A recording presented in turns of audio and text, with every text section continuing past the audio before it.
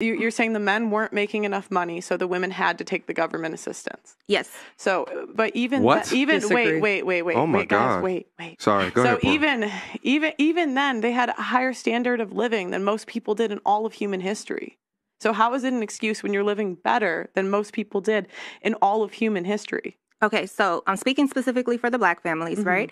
And so back then, Mhm. when men were living at home, Mhm. they were not able to be employable, right? And so they would leave They weren't. women Wait, why weren't they employable? because they to her she everything she said is Mhm. 100% factual, right? Mhm. And if we knew that that was a narrative then, of course we wouldn't have fallen for it, right? Mhm. But because they were trying to divide the black family, they would say men to provide for your family or things like that. We don't want you to be there because we know that you're leaders and the impact of that. So how can we divide that? We're Mm-hmm. not going to give you good qualifying jobs if you're in the home. But then the woman, how can I provide and how can I do this Mm-hmm. if he's not in the home? They would take the government. We all know it's a scam now, absolutely. But back in the day, that was the reality. To get a good paying job, to try to pay for your Mm-hmm. family, be employable, right? You thought you had to not live in the household. I'm So you sure.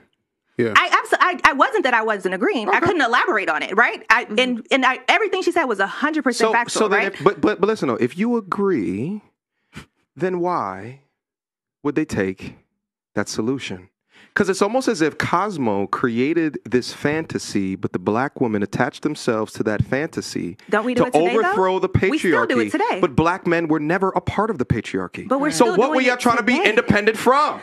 Listen, I'm not saying it was right. I can't can go back sell. then and speak so to their hold mindset. Them, so then hold them accountable. I agree with that. I've always said we should Oh, hold women okay. accountable this evening, right? But today we're still doing the same narrative, right? We're mm-hmm. still selling city girls and being out here and being flown out. We're still about it. selling it, Right, right, and right. women are So still I- buying I- it. Yeah, so I have a They question. loving it. Whose whose fault is it for buying it? Exactly. I would challenge one thing that you said when you say that if we all agree that there's 80% of women that are out here running the streets, and then there's a 5 to 10% of men that are taking advantage of that, I reject the idea that the focus should be on the small percentage of men that are running the streets when we have an overabundance of women that are not acting accordingly. Mm. I would say let's at least get that down to 5 to 10% of women are running the streets, 5 to 10% of men are running the streets, and then look at them equally. But as long as we have the scale so tipped that women are allowing this,